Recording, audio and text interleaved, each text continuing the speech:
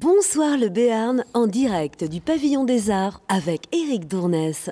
Chers amis, bonsoir. Bonsoir vous toutes et bonsoir vous tous. Soyez les bienvenus. Très heureux de vous retrouver pour une semaine complète, cette fois-ci, de cette deuxième génération d'émissions Bonsoir le Béarn. Une émission née, vous le savez, pendant le confinement, quelques heures à peine après le début de celui-ci, avec une vocation, celle de vous donner rendez-vous tous les soirs pendant deux heures, afin de créer du lien et de rompre la distanciation sociale qui était alors en vigueur. Voici cette deuxième série d'émissions qui nous conduira jusqu'à la rentrée avec un rythme quotidien un peu différent, un peu moins long, une heure simplement tous les soirs de 18h à 19h, toujours en direct. Regardez depuis le grand plateau du pavillon des armes à disposition par la ville de Pau en ce lundi 8 juin. Une heure pour retrouver celles et ceux qui font l'actualité du Béarn ou bien qui sont pertinents pour la commenter. Une heure pour donner la parole à celles et ceux qui veulent la prendre. Ce soir, parmi nos invités, nous allons recevoir dans quelques petits Michel Niel qui nous parlera des actions de la Croix-Rouge de Pau, actions pendant le confinement et puis également actions maintenant que le confinement est terminé. Il sera en liaison avec nous dans quelques petites minutes. Et puis nous prendrons l'air ce soir également avec Nicolas Fayol qui est l'un des euh, promoteurs et acteurs du Stade d'eau vive, le parc aquasport qui rouvre ses portes dès aujourd'hui pour tout le public. Nous verrons de quelle façon la navette étudiante se mobilise également et si vous le souhaitez chers amis, vous pouvez vous également participer à cette émission avec euh, un numéro de SMS 06 44 63 07 14 pour nous envoyer une idée de sujet, un projet euh, de thématique pour nous parler de votre commerce, de votre activité si vous le souhaitez, d'une initiative que vous portez. Vous nous donnerons également, nous vous donnerons la parole si vous nous envoyez un mail bonsoir gmail.com pour cette émission réalisée dans les conditions du direct par toute l'équipe de création de communication, une émission qui a à partir de du milieu de semaine prochaine vous permettra également de gagner de très nombreux cadeaux avec le jeu de la cagnotte, en tout cas du mur de la chance, c'est le nom du jeu. Derrière ce mur, il y a une cagnotte. Cette cagnotte, elle pourra atteindre 4000 euros de cadeaux, de bons d'achat à gagner, des bons d'achat à valoir dans les commerces de proximité, des cadeaux également mis à disposition, offerts par tous les sites touristiques de la région, desquels nous parlerons tout le long de l'été pour cette nouvelle mouture de Bonsoir le Béarn, votre rendez-vous télé quotidien qui démarre par quoi? Devinez. Un générique, bien sûr. Allons-y.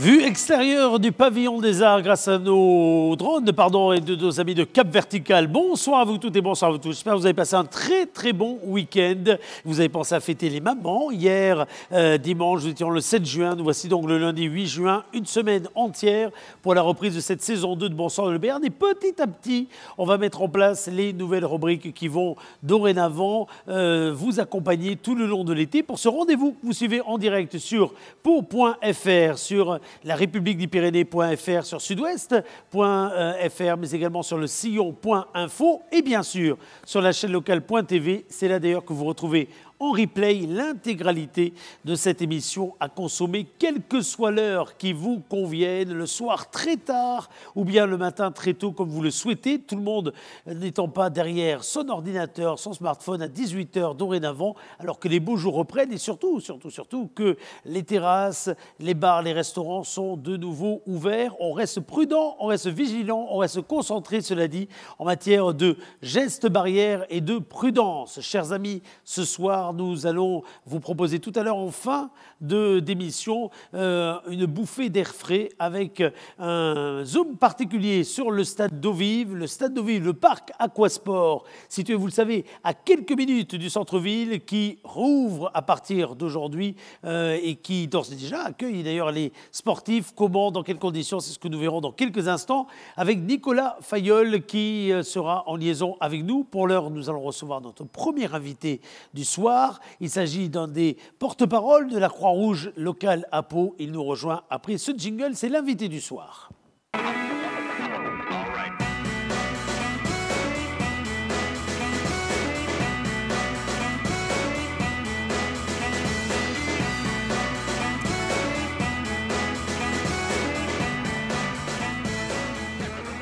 Je le redis, si vous avez une idée de sujet, si vous souhaitez prendre la parole, cette émission est la vôtre. L'antenne ouverte est le moment euh, qui vous sera dévolu. Chaque soir, nous aurons tout à l'heure d'ailleurs les représentants de l'association qui préside au destiné la navette étudiante et vous nous envoyez un message à bonsoirleberne.gmail.com ou bien un SMS 06 44 63 07 14 si vous souhaitez participer à cette émission. Nos équipes vous rappellent dans la foulée ou dans la semaine et vous serez, je l'espère, avec nous dans euh, quelques heures, dans quelques jours pour euh, participer à ce qu'est ce trait d'union entre les Béarnais, trait d'union ouvert d'ailleurs bien largement au-delà des frontières de ce territoire. La mobilisation de la Croix-Rouge de Pau pendant le confinement a été un sujet que nous avons évoqué avec euh, le, président et celui qui préside au niveau départemental à la coordination de l'ensemble des forces. Nous allons retrouver Michel Niel qui lui va nous parler spécifiquement de la Croix-Rouge de Pau. Il est avec nous en liaison. Bonsoir Michel Niel. Bonsoir Eric. Heureux de vous retrouver. On va monter un tout petit peu le son en régie, s'il vous plaît, de, de Michel Niel, qui est euh, une des chevilles ouvrières d'une grande famille hein, de, de, de, bénévoles, d'acteurs mobilisés autour de la Croix-Rouge de, de Pau. L'antenne de Pau, Michel Niel, c'est combien de personnes d'abord? On va commencer par là peut-être. Alors aujourd'hui, c'est environ 430 bénévoles et 6 salariés. Et ces bénévoles, ces salariés, on va le voir pour commencer cet échange, ils ont été extrêmement mobilisés pendant toute la période du, confinement. Et maintenant que le confinement est, terminé, mais que par contre la, précarité, la détresse qu'il peut y avoir, les accidents de la vie hein, du, quotidien sont toujours au présent, euh, cette mobilisation, on va voir de quelle façon elle se traduit. D'abord, on va commencer par ce qui s'est passé pendant le confinement. Alors, si on fait un petit retour en arrière, donc effectivement, donc le 16 mars, nous sommes tenus de mettre en confinement euh, l'ensemble de nos bénévoles et de nos salariés. Donc, euh, on ferme un peu brutalement euh, les portes du, de nos locaux au 55 avenue du Loup, mais on conserve quand même ouvert la partie épicerie sociale Ah oui. fin, sur laquelle je reviendrai après. Donc, les, six salariés ont été mis en, chômage partiel par la force des choses, hein, puisqu'ils sont tous impliqués dans des fonctionnements d'activités qui ont été mis en sommeil pendant cette période. Euh, les bénévoles, bien sûr, euh, ben, euh, ceux qui avaient leur activité mise en sommeil sont restés chez eux. Et on a conservé donc comme effectif actif les maraudeurs, les quelques bénévoles de l'épicerie sociale Coupe-Fin, ceux qui ont accepté de continuer, et nos secouristes, parce que je voudrais qu'on qu parle un peu, ça n'a pas été trop mis en avant euh, dans les différents euh, communiqués qu'on a pu faire. Ils ont eu un rôle essentiel dans euh, l'aide au personnel soignant de du centre hospitalier de Pau. Absolument, il faut quand même bien un effet de souvenir. On va peut-être démarrer par là d'ailleurs, parce que ces, ces, ces, secouristes, en effet, ils ont été euh, au rendez-vous dès les, dès les, premières heures, hein, il faut le dire. Et historiquement, ces secouristes, on, on, les croise dans des événements, dans des manifestations, dans des rendez-vous qui, par la force des choses, à l'inverse, là, cette fois-ci, ont été annulés. Oui, alors bien sûr, on est habitué à les voir dans des événements festifs. Eh bon, oui. là, les événements festifs étaient un petit peu mis eux aussi en sommeil. Donc, on les a retrouvés euh, essentiellement sur deux activités au centre hospitalier. Euh, on a mis à disposition donc euh, du SAMU euh, notre ambulance avec trois secouristes qui ont assuré des permanences de 8 heures du matin jusqu'à 22 heures le soir, tous les jours de la semaine, jusqu'à encore très récemment, puisque je pense que on a basculé depuis maintenant le début du mois de juin à euh, une, assistance euh, SAMU uniquement sur le week-end. Donc, euh, ils ont été, les, secouristes ont assuré donc en complément de, l'ambulance, l'ambulance du, centre hospitalier, eh bien tous les transports de personnes, soit suspectes d'être atteintes du Covid, soit des personnes, bon ayant besoin d'une intervention d'urgence, euh, euh, un arrêt cardiaque, bon, pas le cas le plus fréquent, fort heureusement, mais ils ont eu donc plusieurs interventions. En tout, ils ont assuré plus de 160 transports ah pendant la période du confinement. Et, puis, je crois que vous avez mis à profit également cette période pour continuer à former, parce que c'est important, euh, les, bénévoles, et, puis euh, euh, faire un travail de fond, hein, j'ai envie de dire, avec eux. Alors, tout, tout, ce qui était formation, malheureusement, formation grand public, formation gestes qui sauve, a été oui, ça s'est interrompu. Voilà. Parce que là, on ne pouvait pas regrouper sur un même espace une dizaine de personnes. Bien sûr. Par contre, on a assuré donc avec nos secouristes et quelques bénévoles qui ont été formés par les secouristes, euh, toute la partie euh, surveillance ou contrôle de la décontamination des ambulances.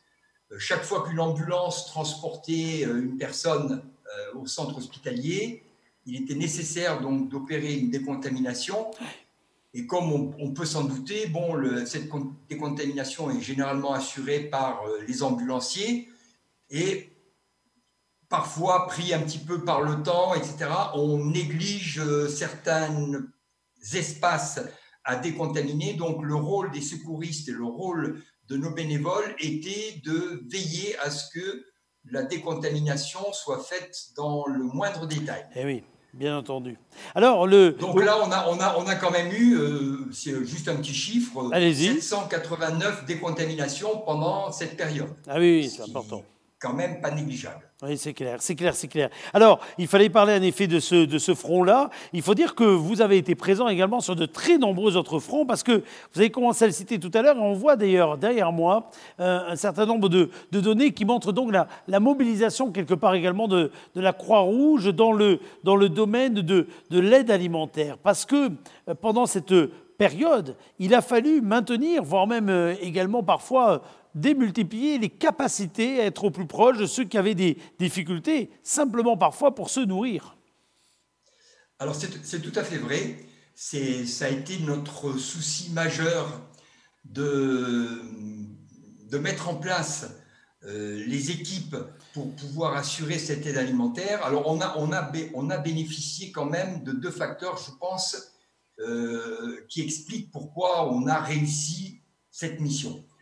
Le premier, c'est le nombre de bénévoles, comme vous l'avez, on l'a évoqué déjà tout à l'heure, qui nous a permis de déplacer des bénévoles qui étaient impliqués dans différentes activités qui ont été arrêtées et de les affecter notamment euh, dans le fonctionnement de l'épicerie sociale Couffin. Euh, sans ces bénévoles-là, je pense qu'on aurait eu du mal à assurer la prestation qu'on a faite pendant cette période. Et on a aussi bénéficié de la place et de l'espace que nous avons au 55 avenue du Loup, car cela nous a permis de transformer le fonctionnement qui était jusqu'alors un fonctionnement type épicerie sociale, donc un peu confiné, en un fonctionnement drive, donc extérieur, extérieur. ce qui fait qu'on évitait les contacts avec les gens, euh, la distanciation était respectée, ils prenaient rendez-vous, ils arrivaient euh, à, au créneau horaire qui leur était fixé, ils prenaient leur colis alimentaire et ils s'en allaient. Donc ça, ça, nous a permis de fonctionner sur ce principe-là et, de sécuriser donc euh, les bénévoles. Sachant que c'était le cas à Pau, mais je crois également que c'était le cas dans, dans, les autres centres de distribution que, que vous avez également en, zone rurale hein, du Béarn. Absolument, absolument. On a, on a maintenu donc l'aide dans les zones d'Arzac, euh, Lambeille et Garlin avec les, bénévoles locaux hein, euh, qui ont fonctionné sur ce principe-là. Mais bon, c'est vrai que dans des zones rurales, c'est plus facile de fonctionner avec de l'espace autour que dans le centre-ville. C'est vrai. Le, ce qui a été important également, c'est mine de rien la capacité que vous avez eue de, de répondre à la demande des pouvoirs publics pour prolonger le dispositif de la maraude, parce qu'on est maintenant au mois, de, au mois de juin, mais la maraude, il faut se remettre au début du confinement. On est au mois de mars, et début avril également, il y a eu un vrai coup de froid hein, de nouveau. Hein. Il y a eu un vrai coup de froid. Euh, alors, on a la chance euh, au niveau de, des équipes maraudes d'avoir un réservoir important, hein, puisque euh, on a à peu près une centaine de maraudeurs inscrits et actifs et formés en temps normal. Alors, il est vrai que le confinement et bon, le, le facteur âge de certains maraudeurs a réduit un petit peu les troupes. Hein. C'est vrai.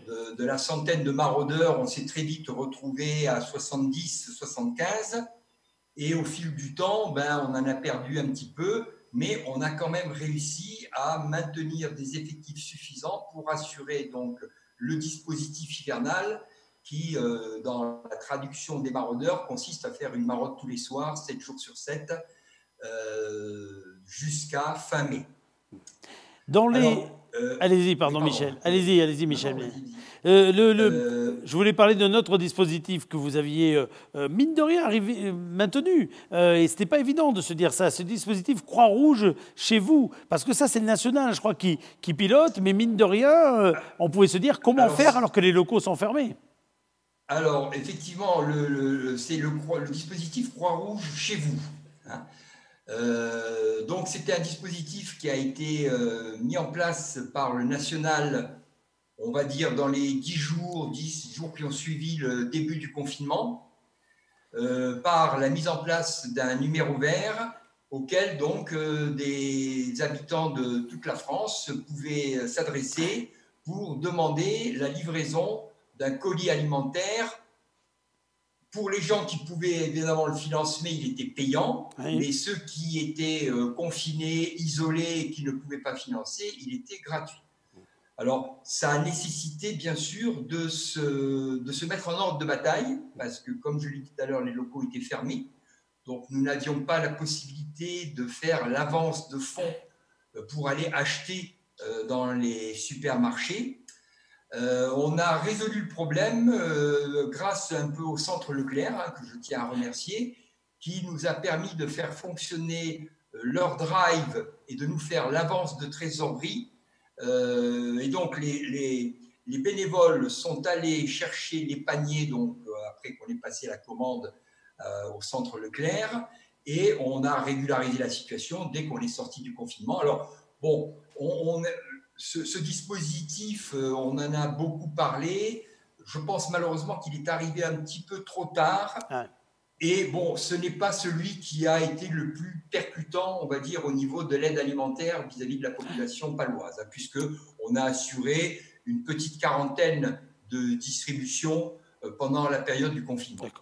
Alors, je voudrais qu'on parle maintenant un petit peu à, l'après déconfinement, parce qu'on avait parlé évidemment de, de, la façon dont vous avez protéger d'ailleurs hein, les, uns les autres, les bénévoles, les personnes dont, euh, enfin, qui avaient recours hein, au, service de la Croix-Rouge. Mais je voudrais qu'on parle maintenant de l'après-déconfinement. Parce qu'à partir du mois de mai, du 11 mai précisément, vous avez recommencé l'accueil et les aides financières, la, la Vestiboutique qui a rouvert également le, le, 13 mai, le Bric-à-Brac qui a rouvert le 19 mai, la nouvelle boutique a ouvert le 25. Et pour cela, il a fallu par contre beaucoup d'énergie. Et puis, beaucoup également de, moyens pour protéger ceux qui allaient fréquenter ces différents lieux.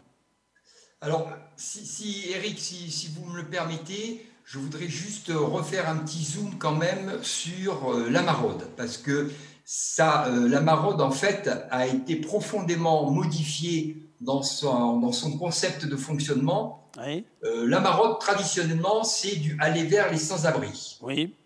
Donc, dès la, mise en confinement, on s'est retrouvé face à une population de nouveaux précaires qui n'avaient pas suffisamment de ressources et qui n'avaient pas suffisamment de dispositifs disponibles pour aller chercher une aide alimentaire et qui, qui sont venus se greffer sur les sans-abri pour venir bénéficier d'une aide alimentaire. Ce qui nous a amené à mettre en place, et je, là encore, je vais euh, souligner l'aide apportée par euh, le Centre Auchan et l'établissement Leclerc Tempo. Nous nous sommes substitués à la banque alimentaire qui, au début, donc, a cessé la ramasse de produits frais, Mhm. euh, manque de bénévoles et puis consignes qui venaient du national. Et nous avons donc assuré cette ramasse Mhm. auprès de Auchan et de Leclerc Tempo pour justement distribuer à travers soit l'épicerie sociale soit la maraude et renforcer les quantités de nourriture distribuées pendant les maraudes. Je crois que c'est important de le dire parce qu'en fait, la maraude, pendant cette période-là, a joué un rôle de distribution alimentaire itinérante. Et, vous avez raison d'insister sur ce point-là. que- Voilà, vous avez raison d'insister sur ce point-là parce qu'en effet, on n'est pas dans le rôle classique hein, de, de la maraude et qu'il Voilà. y a eu évidemment une importance importante, euh, enfin une grande importance, pardon, euh, à accorder à- aux besoins hein, qui se faisaient sentir sur le terrain. Ah bah, on, est, on, est, on, est, on est passé, si vous voulez, d'une population qu'on rencontre habituellement lors des maraudes qui tourne autour de euh, 30, 40 sans-abri, hein, essentiellement des sans-abri en temps normal. On est passé à euh, 60 avec, euh, pen- pendant le, le- le week-end avant le 1er mai, on a eu une pointe à plus de 90 personnes rencontrées. Ah oui. Et sur ces personnes-là, les, les- les statistiques que nous avons, euh, donc on a rencontré par exemple sur le mois d'avril 350 ou 60 personnes différentes. La moitié étaient de nouveaux précaires, c'est-à-dire des gens qui ont un logement, qui ne sont pas considérés comme des sans-abri, Ouais. mais qui sont venus bénéficier de l'aide alimentaire qu'on apportait à travers la maraude.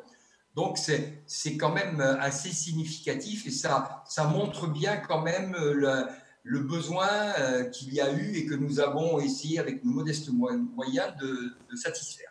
Alors justement, parce qu'on parlait des moyens, si je, traduis ce que vous dites là et puis d'autres obs- observations, parce qu'aujourd'hui vous êtes plutôt inquiet hein, face évidemment à, l'augmentation de, la précarité hein, liée à la fois à la période passée, mais aussi à celle que l'on peut anticiper en matière de perte d'emploi, de difficultés économiques, de difficultés peut-être sociales.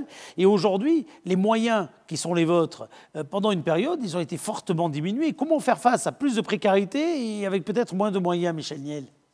Alors, on, a, a, on a eu une réunion de coordination alimentaire hein, où tous les acteurs de l'aide alimentaire se sont réunis sous l'égide du CCAS. Aujourd'hui, force est de reconnaître que les inquiétudes que je nourrissais, que nous nourrissions, ne sont pas encore concrétisées, à savoir... Ce qui est plutôt une bonne chose Euh, d'ailleurs. hein. Voilà, ce qui est plutôt une bonne chose, hein, parce que quand on entend Oui. un peu la, la presse nationale, on parle de Oui, oui. 30%, 40% de précarité, de, de- de- de- d'aide alimentaire supplémentaire par rapport à la situation normale. Et vous, si vous dites c'est pas encore le cas en Béarn, Aujourd'hui, on est, on est préservé. On semble être préservé pour l'instant. Alors, on est, je pense, peut-être qu'au début de la nouvelle précarité, Ouais. c'est-à-dire que l'impact du choc économique ne s'est peut-être pas encore fait suffisamment ressentir. Bon, mais peut-être qu'on échappera. Bon, on a bien échappé quand même à la vague du virus euh, vrai. dans le. Béarn. On échappera peut-être aussi à la vague de la- une aide alimentaire très largement supérieure à nos capacités. Mais quoi qu'il en soit, et tant mieux, hein, au travers de ce que vous dites, moi je dis qu'une chose évidemment, tant mieux, mais quoi qu'il en soit, les besoins euh, de tout un, un nombre important hein, de, de- de personnes qui fréquentaient, je le disais tout à l'heure, avant même la crise du Covid, euh, vos boutiques, le bric-à-brac, etc., etc. Pour autant, ces personnes-là ont toujours besoin de vos services, ont toujours besoin de Bien ce sûr. soutien. Et, et aujourd'hui, ce soutien dépend pour beaucoup, on le sait, de dons et puis de la façon dont ces boutiques, finalement, ramènent hein, des, des- des Alors, subsides. Aujourd'hui, ces, recettes-là, vous ne devez plus les avoir. Alors, euh, on, on les a perdus Enfin, pendant, voilà, euh, pendant mois, moins le temps du confinement, oui. Voilà, aujourd'hui, donc, vous l'évoquiez tout à l'heure, on a repris progressivement en sécurisant nos bénévoles avec tous les Ouais. outils mis à leur disposition, masques, gel, euh, écran de protection, euh, plexiglas, enfin bon, on a mis en place tout le dispositif nécessaire. Donc, on a repris euh, les activités, donc accueil, aide financière, parce que ça nous a paru Oui. très important oui, de très vite pouvoir apporter des aides financières là où il y avait des besoins. clair. Euh, on a réouvert progressivement nos trois boutiques justement pour permettre à, à tous les, à toutes les personnes petit budget de venir euh, ben, s'équiper chez nous. Et on a aussi, on vient de rouvrir en début de semaine le secteur alphabétisation parce que là aussi il y a des besoins, il y avait de fortes demandes. Bon, aujourd'hui, je dirais que à peu près 80% de nos activités habituelles euh, sont réactivées. Euh, nous ne pourrons pas reprendre avant septembre euh, tout ce qui concerne le soutien scolaire, les personnes âgées, HRDA, puisque bon là, on est tenu de respecter quand même les, consignes des pouvoirs publics et de la Croix-Rouge française. Et aujourd'hui, bien sûr, euh, nous avons besoin d'avoir de nouveaux visiteurs, de nouveaux clients pour venir euh, un petit peu euh, nous aider à travers des achats solidaires dans nos boutiques. Bon, je pense qu'une grande partie de la population les connaît, mais pas tous. Nous avons donc une vestiboutique donc, qui propose des vêtements d'occasion, des jouets, des livres. Nous avons une boutique de vêtements neufs et nous avons une activité bric-à-brac qui est assez peu connue du grand public, où là on peut trouver ben, toutes sortes d'objets divers, des bibelots, de la vaisselle, des meubles, de l'électroménager. Euh, n'hésitez pas à venir nous rendre visite. Vous nous aiderez en venant faire. C'est ça. En, venant faire un, euh, en fait, en venant faire un achat dans l'une des boutiques, comme une boutique, hein, vous serez reçu avec beaucoup de, précautions. On a vu l'article de la République des Pyrénées. Vous expliquez bien d'ailleurs hein, tout ce que vous avez mis en place, Michel, euh, dans, ces, dans ces boutiques. évidemment, en faisant des achats, on, vous, vous contribuez à aider le, la Croix-Rouge, puis on peut faire des dons également, j'imagine, de vêtements, d'objets divers, de meubles, pour nourrir finalement, pour remplir les boutiques. Hein. Bien sûr. Alors n'hésitez pas à faire appel à nous si vous avez besoin de vous débarrasser de meubles, enfin des choses qu'on peut venir chercher chez vous. Hein. On a. C'est ça. Pendant le confinement, on s'est rendu compte qu'on pouvait faire un peu de ménage à la maison et il y a des choses qu'on peut, dont on euh, peut se débarrasser. Voilà. Absolument. Donc on est preneur de tout ce qui est en bon état et qui n'est plus utilisé pour leur donner une deuxième vie. Hein, c'est clair. Hein. et euh, donc on est on est dans de, de l'économie solidaire. C'est c'est tout à fait ça. Et n'hésitez pas aussi, si vous voulez euh, faire un petit peu de bénévolat et si euh, ce que fait la Croix-Rouge française euh, vous parle, n'hésitez pas à venir nous rejoindre. Bon, nous avons perdu, comme beaucoup d'autres, hein, des bénévoles Bien sûr. pendant cette période-là, donc on a encore des besoins de nouveaux bénévoles. Merci beaucoup en tout cas Michel Niel pour avoir fait ce point et encore une fois, hein, N'hésitez pas à vous manifester. Une adresse internet, un numéro peut-être de téléphone, Michel? Alors, euh, le numéro de l'accueil pour les gens qui voudraient se renseigner pour savoir comment faire un don ou pour savoir comment faire du bénévole, là, pardon, c'est le 05 59 98 54 50. N'hésitez pas. Et puis une adresse peut-être internet également. Alors, euh, l'adresse internet, eh ben, c'est euh, croix-du-6rouge.fr euh, où vous trouverez, alors on est en train de le remettre à jour parce qu'il a été un petit peu laissé à l'abandon pendant le confinement. Donc, j'ai une équipe communication toute nouvelle qui vient de, nous rejoindre. Bon, je sais qu'Éric, tu connais très bien Françoise Chapon. Absolument, et je la salue d'ailleurs, tout à fait. Commercial. Et donc, euh, avec une de ses anciennes euh, collaboratrices, donc là, j'ai une équipe euh, de folie, quoi, vraiment, parce que. Super, c'est un bon mercato, ça. Elles vont nous faire un bien énorme. C'est un formidable mercato, ça. En tout cas, toutes les énergies sont les bienvenues pour évidemment être là, répondre aux besoins du quotidien. Merci beaucoup, Michel Niel. Puis rendez-vous aux boutiques, hein, tout simplement. Rendez-vous dans les boutiques. Hein, si on veut ah ben, faire acte de candidature également pour les bénévoles, rendez-vous dans les boutiques. Bien sûr. Bien sûr. Et puis, on va faire de très gros travaux d'aménagement sur la vestiboutique.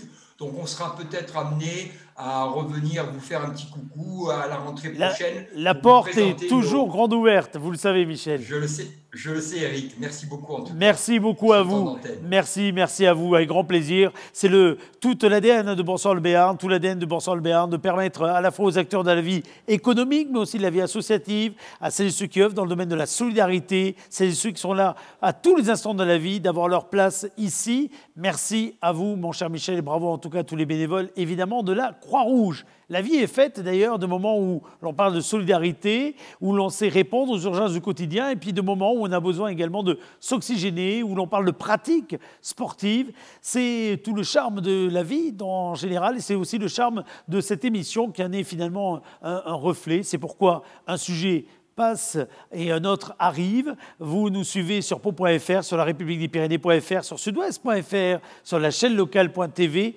sur le sillon.info. Chaque jour, notez-le, jusqu'à la fin de l'été, nous serons là avec des invités pour ouvrir l'émission et puis avec également une vitrine ouverte sur les activités loisirs qu'il ne faut pas manquer pendant l'été. Et ces activités pourront se dérouler par exemple au Stade d'Eau Vive. On en parle dans quelques instants avec notre nouvelle invitée. thank you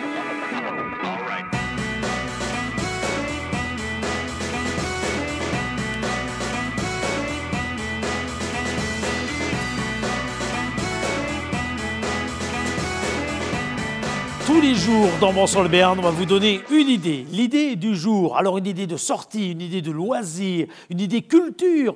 Bref, l'idée qui va peut-être vous donner envie de bouger. Alors que pendant deux mois, avec les 60 premières émissions de Bonsoir le Béarn, on a fait l'inverse. On vous a donné des idées pour rester chez vous. Cette fois-ci, nouvelle génération, on va pouvoir s'oxygéner et par exemple reprendre le chemin du parc Aquasport qui, vous le savez, regroupe entre autres le stade d'eau vive, mais également le restaurant Laigo, euh, un espace où l'on peut se balader, se promener, parce que le parc Aquasport rouvre ses portes. Comment, dans quelles conditions? C'est la question que l'on va poser à Nicolas Fayol, qui est l'un de ces, des artisans. Bonsoir, mon cher Nicolas.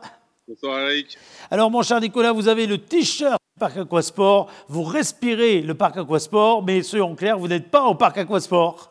Non, non, on n'est pas au parc Aquasport. Un petit problème de, de logistique, mais. euh, donc je suis là pour vous expliquer un peu tout ce qui se passe, euh, comment on a repris l'activité et comment on peut vous accueillir pour pratiquer euh, toutes nos activités. Alors d'abord, on va commencer, on va voir quelques images en parallèle de notre discussion. On va commencer par représenter ce lieu qui est un lieu absolument unique, non seulement sur l'agglomération paloise, dans le Béarn, dans le sud-ouest, j'ai presque envie de dire un lieu assez unique d'ailleurs au niveau national.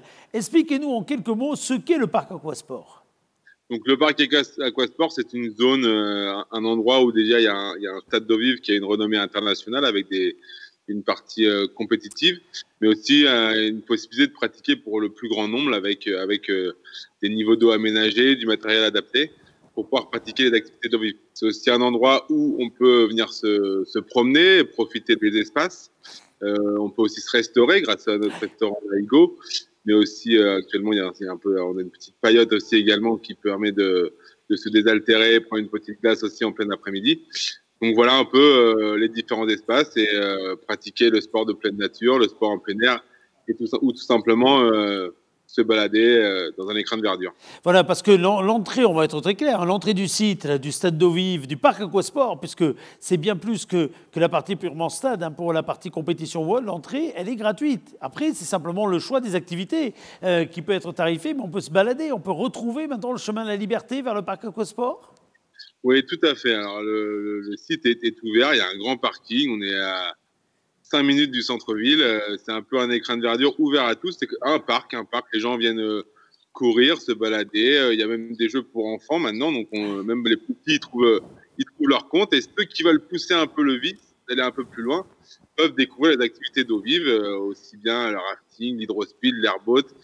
Enfin, voilà, on a tout un panel de prestations qui permettent de se rafraîchir euh, avec les beaux temps qui, le beau temps qui arrive. Et, avec la sécurité. Alors on va, on va se faire un petit jeu questions-réponses sur, euh, sur les activités justement. Euh, les activités comme le rafting. Beaucoup sont venus faire du rafting, notamment depuis que la nouvelle équipe, avec qui d'ailleurs nos équipes de Création ont le plaisir de, de collaborer de- depuis de longs mois maintenant. Mais le rafting, c'est la, la, la tête de proue, je dirais, du stade d'eau vive pour l'activité plaisir, entre amis ou autre.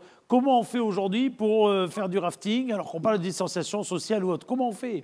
C'est très simple en fait. Le, le rafting, il faut venir en groupe constitué. C'est comme quand vous En allez famille, comme en famille ou entre amis, euh, groupe, euh, ensemble. restaurant, famille, Ouais. donc moins de 10 personnes. De toute façon, un raft, un raft, c'est entre Ouais. 4 et 8 personnes, donc il n'y a pas de problème. Et du coup, on va trouver des interactions et on, va, on met tout en œuvre également pour, adapter en fait euh, tout notre parcours clientèle entre guillemets euh, aux distanciations. Les groupes ne se croisent, les différents raftings ne se croisent pas. Euh, on, euh, on, euh, on nettoie tout le matériel avec des virucides qui permettent de décontaminer entre Ouais. Le matériel et donc du coup, il n'y a aucun risque de venir faire du, rafting au stade de Vive. Alors ça, c'est pour ceux qui aiment les activités en groupe. Et puis le stade de Vive, il faut bien le dire, c'est tout un tas d'activités que l'on peut pratiquer, j'allais dire en solitaire. Ça ne veut pas dire qu'on y vient seul, mais ça veut dire qu'à un moment donné, on est seul au milieu du, du bassin et au milieu de ce parcours, qui est encore une fois un parcours 100% artificiel dans sa mécanique en tout cas. Tout à fait. Donc là, sur la pratique plutôt purement individuelle, on va faire soit de l'hydrospeed, hein, c'est un flotteur en mousse qui permet de descendre les rapides avec des palmes, une espèce de bodyboard de la rivière, on va dire ça comme ça. Allez-y, allez-y, vous pouvez, allez-y. On a aussi euh, le kayak gonflable, donc c'est un kayak ouvert gonflable où on va pouvoir euh, affronter les rapides seul ou en duo. Donc pour le faire en duo, hein, c'est toujours la même, euh, le même principe. Hein. C'est ça, c'est ça, c'est ça. à la personne qui est avec vous dans le bateau. Et après, pour ceux qui sont peut-être un peu plus réticents à vraiment affronter les rapides, on peut aussi faire une séance de stand-up paddle. Donc debout sur sa planche, sur le plan d'eau de départ, passer un bon moment, réussir à, se déplacer sur, sur, le plan d'eau et, et, bien sûr se rafraîchir en tombant à l'eau. Euh, oui, ça fait partie du jeu. Euh, on a vu arriver l'été dernier, l'été avant d'ailleurs, un, petit ovni au sens physique d'ailleurs euh, et au sens pratique, c'est la, bouée. Est-ce que la bouée va revenir cet été? La bouée va revenir ah, pour la saison estivale, plutôt en fin de semaine, sur des créneaux vraiment spécifiques, dédiés. Et la bouée, en fait, c'est très simple. C'est une bouée comme dans un parc d'attractions. Et on va descendre les rapides du stade de à un niveau d'eau très très faible, ce qui permet réellement d'avoir euh, une, une, accessibilité vraiment importante. Absolument. Et ça, ça, ça sera à partir du début du mois de juillet. Alors, les, les, tarifs euh, de, de, la bouée, qui est un des premiers prix hein, finalement, parce que c'est une activité free de fin de journée, jusqu'au jusqu'au rafting ou au kayak dont vous parliez tout à l'heure, ou hydrospeed dont vous parliez. En gros, la bouée, ça, commence, ça sera à 6 euros pour une trentaine de minutes. En gros, ça fait trois descentes. Et après, les tarifs pour les autres activités, c'est entre 20 et 24 euros en fonction des différents tarifs, euh, réduits, famille, etc. Et euh, là, on est sur une activité qui dure un peu plus longtemps, bien sûr. Une heure sur le parcours sportif, ce qui fait en gros une heure et demie à deux heures d'activité, le temps de s'équiper, se déséquiper, euh, appréhender un peu toutes les informations et, se jeter une heure sur le parcours sportif. Alors par contre, Nicolas, ce qu'il faut bien dire, ce qu'il faut réserver, évidemment, réserver pour euh, réaliser ces euh, euh, différentes pratiques en toute sécurité, parce que là on parle de sécurité Covid, mais c'est aussi en toute sécurité en général, et notamment parce que ces pratiques, elles sont encadrées par des moniteurs professionnels. Exactement, donc le, principe est simple, hein. vous allez sur le site partiaquasport.fr et après, vous nous contactez, euh, vous choisissez votre créneau. Et après, euh, vous venez, on, convient d'un rendez-vous et, vous venez euh, pratiquer l'activité. Avec des, plages horaires qui sont très à la carte. Hein. C'est pour ça que très souvent, il faut le contact téléphonique pour se dire mais je vais à telle heure, je suis avec tant de personnes, etc. Parce que c'est ça la grande force de cette équipe que vous, à laquelle vous participez. J'en profite pour vous saluer les uns les autres. C'est parce que vous avez su créer un rendez-vous extrêmement flexible finalement. Exactement, il suffit juste de constituer son groupe, de nous dire on aimerait venir à telle heure, et en fonction du remplissage des possibilités, on fera tout en, on mettra tout en œuvre pour vous accueillir euh, au moment le, plus opportun. Euh, après, il y a quand même pas mal de personnes qui évoluent sur le bassin. Il y a toute la partie aussi entraînement de haut niveau qui se, qui se lie aussi à tout ça. Donc c'est vrai qu'il y a quand même pas mal d'acteurs autour du bassin. C'est pour ça qu'il euh, vaut mieux appeler avant pour pouvoir euh, caler un, un rendez-vous. Vous parlez des sportifs de, haut niveau. On l'a lu dans la presse il y a quelques jours. Très bonne nouvelle. C'est à Pau que vont se décider euh, les places euh, pour les prochains Jeux Olympiques. Exactement. Donc, ça sera la deuxième semaine d'octobre. Et l'élite du kayak français va venir, j'ai envie de dire une nouvelle fois, s'affronter sur, notre, sur nos espaces pour définir les quatre représentants qui, qui iront défendre les couleurs de la France aux Jeux Olympiques. Quatre représentants, hein, pas plus. Donc, euh, mi-octobre, ça sera euh, ouvert au public, selon vous? Ça sera, ouvert au public, euh, ça sera gratuit en plus. donc, ça sera une belle, de, un beau spectacle à venir, à venir voir en ce début du mois d'octobre. Alors, pour ceux qui ne connaissent pas le Stade d'eau vive et le parc Aquasport, vous avez vu là quelques images, mais vous n'avez pas fini d'en voir chaque, tout le long de l'été d'ailleurs dans Bonsoir le Béarn. Pourquoi? Parce que on, va afficher dans quelques secondes le jeu de la cagnotte et le jeu de mur de la chance que nous allons mettre en place et qui va animer la fin de chacune de ces émissions. Ce mur de la chance, je vous en ai parlé rapidement vendredi, je vais m'y apesantir un petit peu plus. Chaque soir, ce mur de la chance va permettre à deux personnes tirées au sort, inscrites préalablement sur la chaîne locale.tv, de tenter leur chance et donc de défier, d'affronter le mur. Le mur va être constitué de 40 cases. Ainsi, apparaissant à l'écran et des moyens technologiques défient absolument toute concurrence. Euh, ces 40 derrière ces 40 cases, vous avez, vous avez, vous aurez la possibilité de trouver quoi?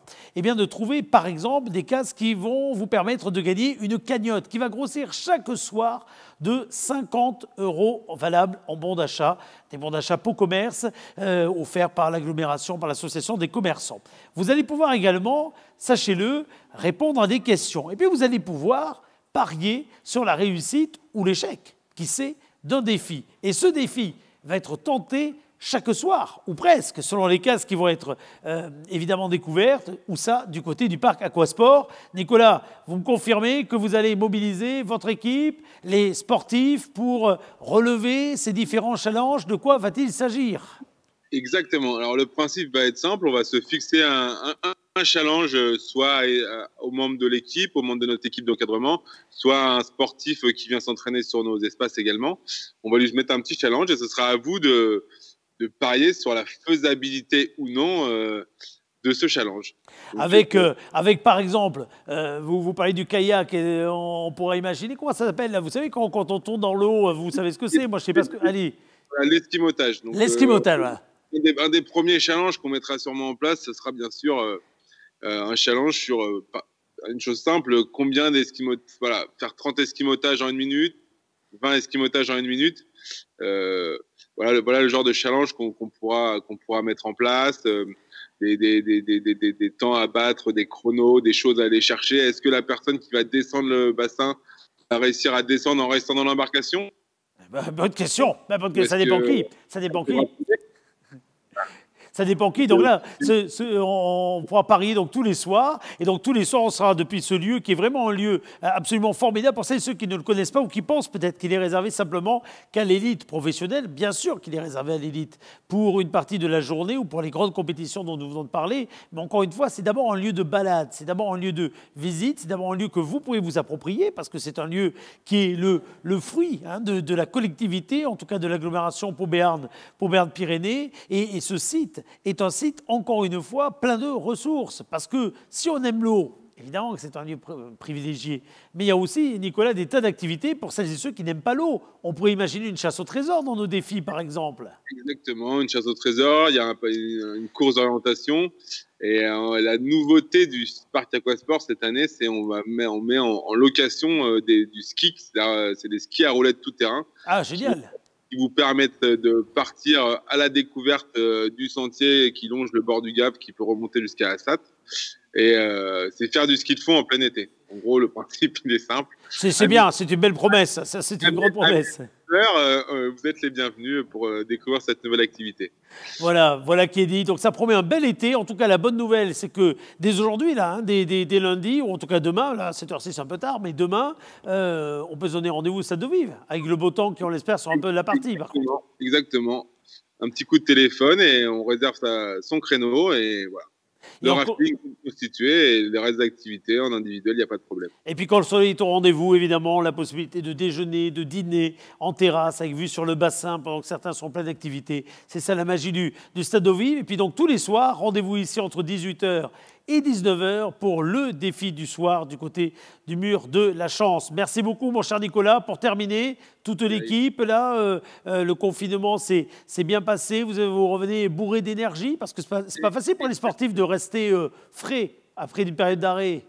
Exactement, on a pu recommencer à naviguer parce que nous, toute l'équipe est, est, passionnée de kayak. Donc déjà, ça a été un grand plaisir de pouvoir refaire de, du kayak et sortir euh, du footing euh, hebdomadaire autour de la maison. Donc c'était vraiment un plaisir pour tout le monde de renaviguer et on est prêt à vous accueillir. On a hâte de vous accueillir euh, sur nos activités, vous transmettre nos passions.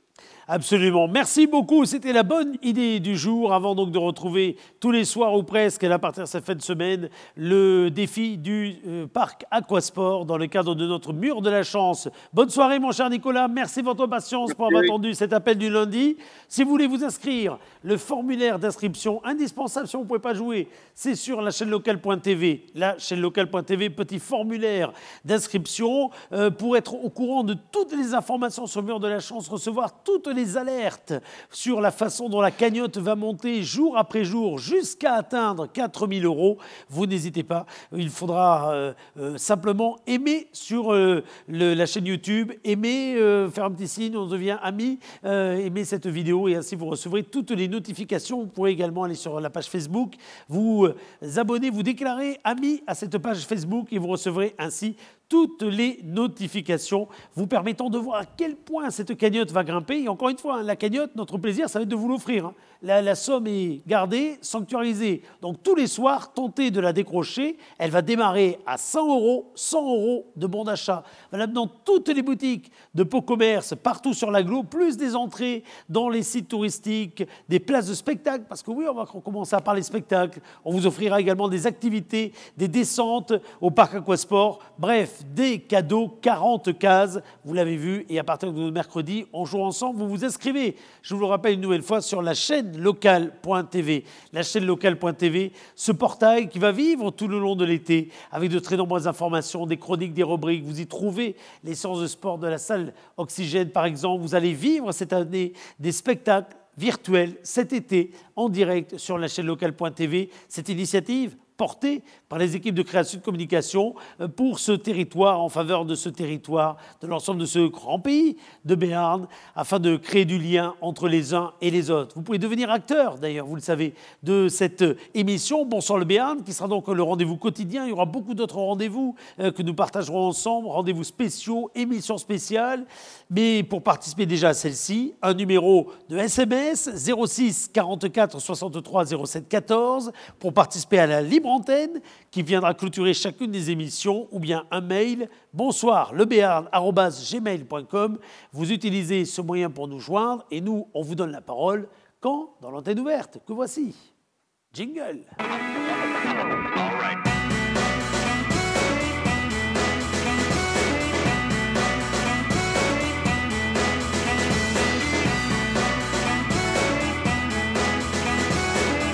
On ne change pas une formule qui gagne. Vous avez été nombreux et nombreux à, devenir des fidèles de cette antenne ouverte et à réclamer de prendre la parole. Alors je le dis d'ailleurs pour les artistes, vous aurez une fois par semaine l'antenne. Je le dis pour les amoureux du sport, vous aurez euh, également une fois par semaine l'antenne. L'économie aura toute sa place évidemment dans cette émission. Et puis on va vous faire découvrir tout l'été de très nombreux sites touristiques. Mais euh, cette libre antenne, elle permet également de faire le point sur les initiatives, sur ce qui se met en place pour les uns ou pour les autres.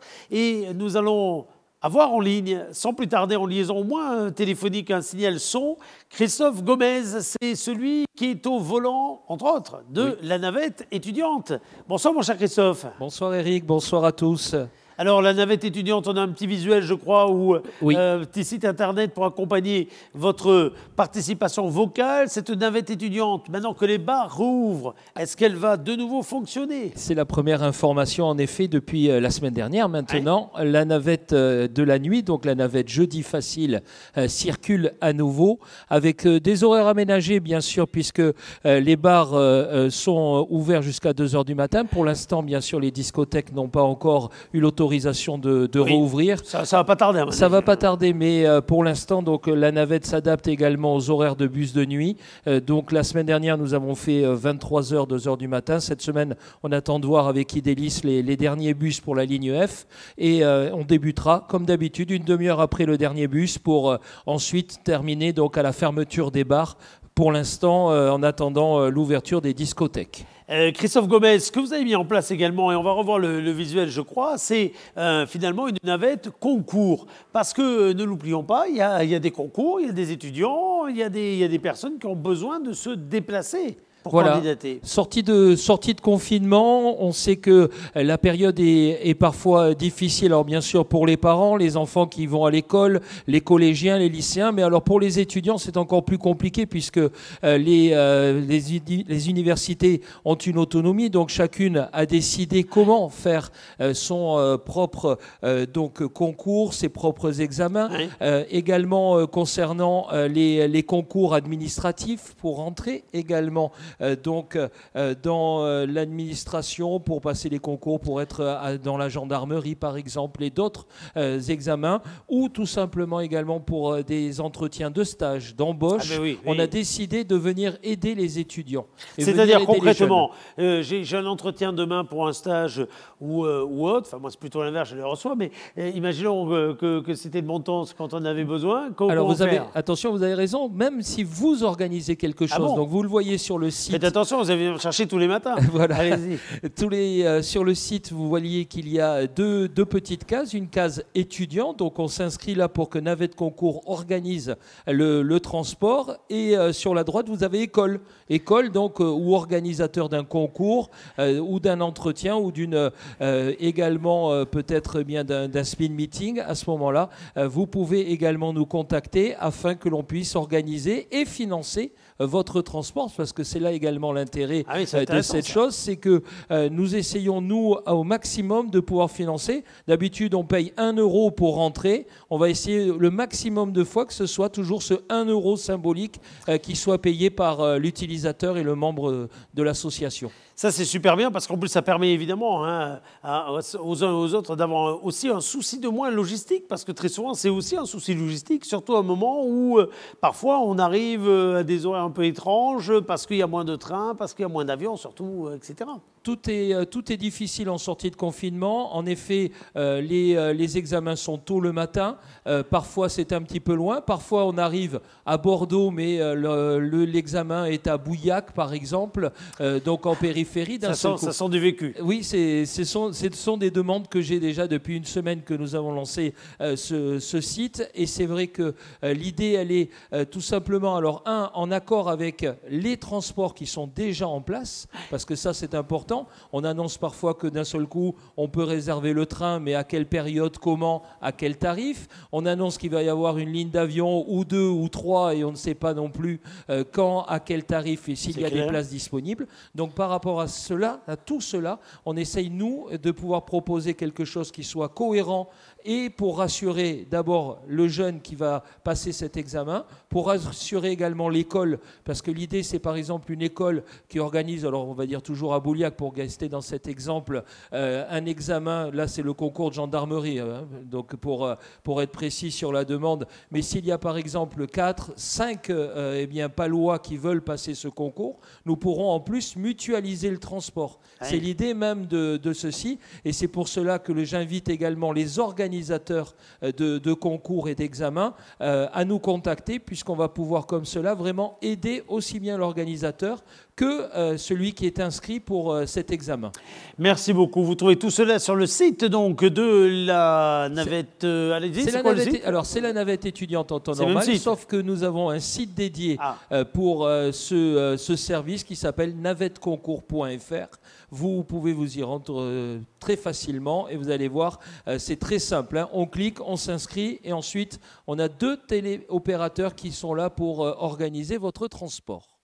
Merci beaucoup Christophe Gomez qui était avec nous en liaison pour nous parler de cette navette. Chers amis, si vous aussi vous voulez prendre la parole, parler d'une actualité, annoncer peut-être un concert, puisque certains vont en faire au milieu de l'été finalement, puisqu'on peut se réunir à, à 5000 en extérieur avec évidemment des, gestes de prudence, que les salles vont rouvrir. N'hésitez pas à regarder une nouvelle fois le numéro 06 44 63 07 14, 06 44 63 07 14 ou bien un mail euh, bonsoir le gmail.com pour parler également de cette émission à l'heure où vous la regardez, peut-être en direct de 18h à, à 19h ou bien un peu plus tard sur les replays de la chaîne locale.tv pour commenter tout cela. Vous l'avez vu juste à côté de moi, le hop hop hop, c'était par là, c'était par là, c'était par où Hop, c'était par là, par là, là, hop. Vous avez le hashtag bonsoir le Béarn, hashtag bonsoir le Béarn, quels que soient les réseaux sociaux sur lesquels vous avez l'habitude de vous rendre. N'hésitez pas à faire savoir évidemment tout autour de vous qu'on a repris. Ça y est, ça a été la reprise.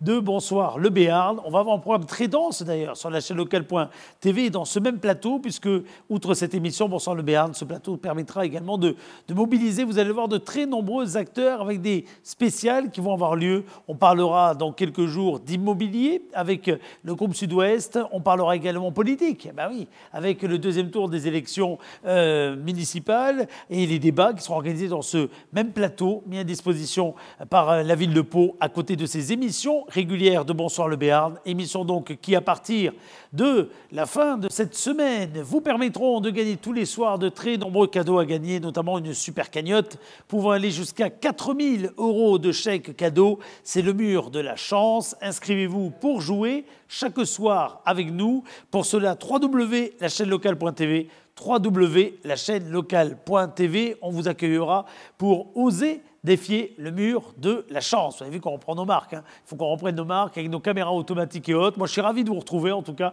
pour ce rendez-vous estival. On va beaucoup, beaucoup, beaucoup sortir de ce plateau. Là, on est encore dans une période où euh, même la météo, etc., fait que on est dedans, mais on sera très souvent d'ailleurs à l'extérieur cet été.